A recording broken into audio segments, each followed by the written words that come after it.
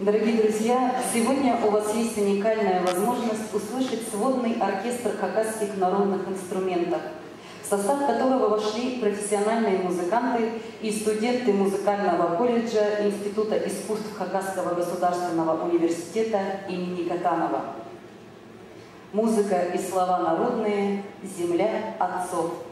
Солистка Юлия Тинникова.